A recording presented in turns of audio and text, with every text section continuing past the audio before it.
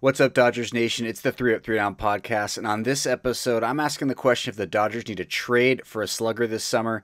And if so, who should they go out and get?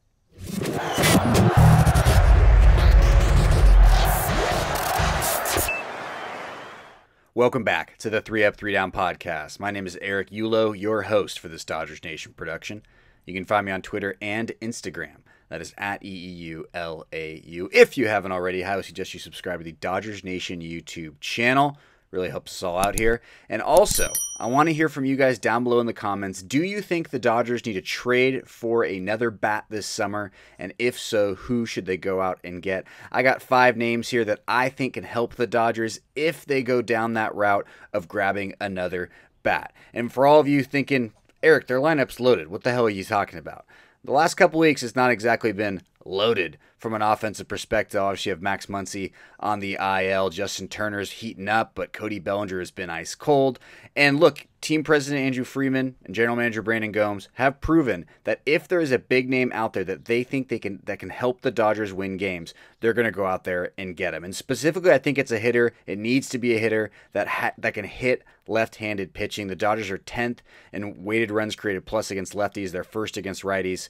10's not bad, but this team is going for a championship, and you need to have a full lineup that can hit lefties. So the first name is probably the biggest name, and that is JD Martinez, the designated hitter for the Boston Red Sox. A couple years ago, you can never even think about this because Martinez is so god awful in the field. But if you look at his stats, look, he has a 956 lifetime OPS versus left handed pitching. Yes, he is 34 years old, but look, he's a free agent after this year. This is a Manny Machado situation. You throw in some mid level prospects, you go out there, you get JD Martinez, perhaps you move Max Muncy over to second base. You play JT a little more at third, and you put JD in that designated hitter spot. But I think JD Martinez would be a huge pickup for this Dodgers team. And we'll stick on the Boston train for now. Everyone loves some Beantown, right? Just kidding. None of us in Los Angeles do. But anyway, Xander Bogaerts, also like Martinez, a Scott Boras guy, so you know he ain't sticking around. But look, he has a player option after this season. He wants an extension. The Red Sox haven't given it to him. He's making 20 million right now. He's signed through 2026, but he does have that player opt out. Three-time All-Star, four-time Silver Slugger, a lifetime 853 OPS versus left-handed pitching. Another guy that can hit left-handed pitching. Now, what do you do with Trea Turner then? The Dodgers have proven that they'll go out and get another shortstop, even though they already have an all star shortstop. Now, is that going to make Trea Turner happy, asking him to move or asking Bogaerts to play third, which he hasn't played since 2014? Probably not. But if it's a short term deal, if it is a Manny Machado situation, and you ask him, hey, Xander, you're the X factor, you're going to head over to third base for a little bit, or maybe you get him over to shortstop and you ask Trea again to play second base, and you kind of know that maybe we're not going to re sign Trea anyway, and he's just going to compartmentalize it all and just keep playing baseball so we don't need to worry about pissing him off so much. The third name, a guy they just played, the Washington Nationals, Josh Bell. Now, Josh Bell was an All Star in 2019, 116 RBI. He is a switch hitter, and unfortunately, he doesn't really hit left handed pitching that well from really either side of the plate. He's better against righties as a left handed batter, but look, he just hasn't had that slugging from the left handed side of the plate. But this is a guy who has shown that he can produce in a lineup that had absolutely no one. That Pittsburgh lineup, when he was an all star, was terrible. Imagine what he can do in this lineup. Once again, kind of a pure DH play there with Josh Bell. You ain't moving Freddie Freeman off of first base. Sorry. Unlike Trea,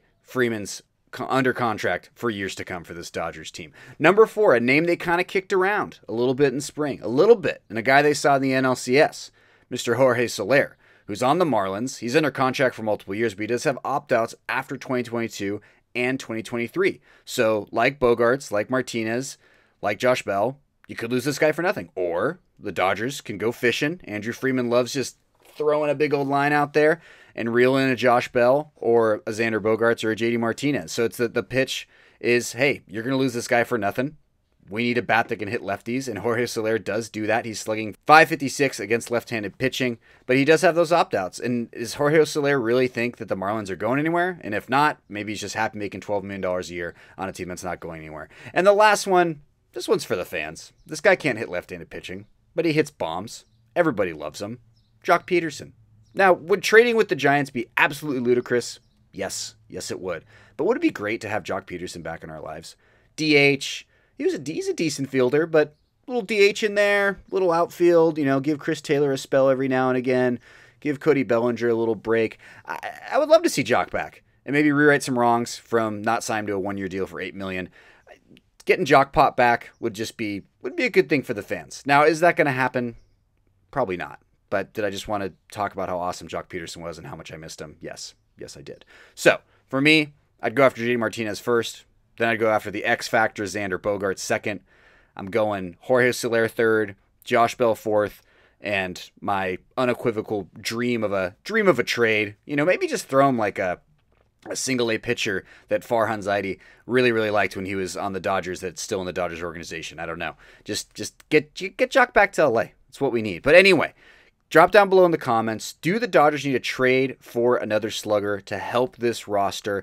Now, personally, cards on the table. I'd rather if they, between one or the other, if they can only do one deal, I'd rather they go out there and get a starter. It's what this team needs, maybe a bullpen piece.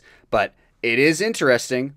This front office has a history of they will go out there and they will go get a Machado. They will go get a Trea Turner if they think it makes the team better and gets them closer to a championship. So drop down below in the comments.